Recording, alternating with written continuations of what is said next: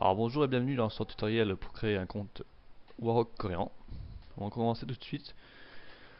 Donc euh, vous allez donc aller sur ce site là qui vous permet de créer un... Attendez, on va donc euh, commencer par le commencement peut-être. Donc vous allez sur ce compte, sur ce site là. Je vous passerai l'URL du site, il n'y a pas de souci. Donc à gauche c'est pour créer un compte euh, enfant, droite créer un compte adulte. Donc vous cliquez sur le compte adulte. Là vous avez une norme d'utilisation euh, de rock cohérent. Donc bon vous coussez tout, vous comprenez tout bien évidemment. Bouton de gauche pour valider. Là on vous demande un KSSN. Le KSSN c'est un numéro de sécurité sociale coréen. Donc pour ça il va falloir vous l'approprier. Donc on va rechercher dans les années 94-93, sinon on va avoir des soucis pour la suite. Donc vous faites une recherche avancée. Vous tapez l'année, donc 94.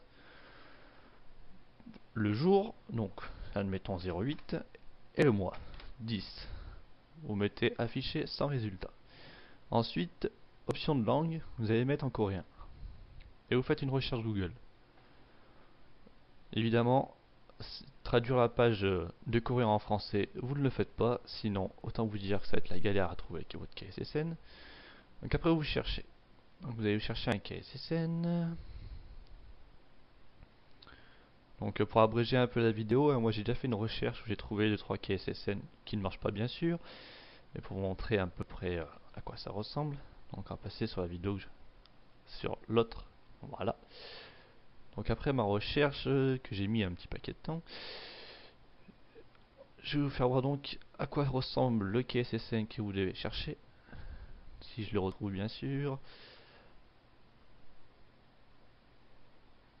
Donc voilà, le KSSN il ressemble à ça, hein. sauf que là il, est codé parce que vous voyez bien que la deuxième partie il y a des étoiles donc on ne pourra pas l'utiliser. Il nous faut un KSSN du même style, hein, mais qu'on pourra utiliser, comme par exemple celui-là. Donc là, vous voyez qu'on a le nom de la personne, qu'on va tout de suite renseigner dans cette case-là. Ensuite, on a donc bah, la, date hein, qu'on a renseignée dans Google. Et, pardon, et le fameux code à 7 chiffres. Ensuite, vous cliquez sur le bouton pour valider. Bon, là, le KSSN, visiblement, il est bien bon. Sauf que le problème, c'est qu'on a trois comptes de créer dessus. Donc il va falloir trouver un autre KSSN qui a maximum deux comptes de créer parce que par chaque KSSN on peut créer que trois comptes. Donc voilà, vous avez donc compris comment trouver votre KSSN et commencer à créer votre compte. Ensuite, une fois que vous aurez trouvé le KSSN, on va vous proposer de créer un compte avec tout un formulaire. Le plus chiant, ça va être de recopier les caractères coréens, sinon il n'y a pas vraiment de souci. Mais je vous expliquerai ça dès que vous avez trouvé votre KSSN. Je vous expliquerai ça. Allez, à toutes les noobs.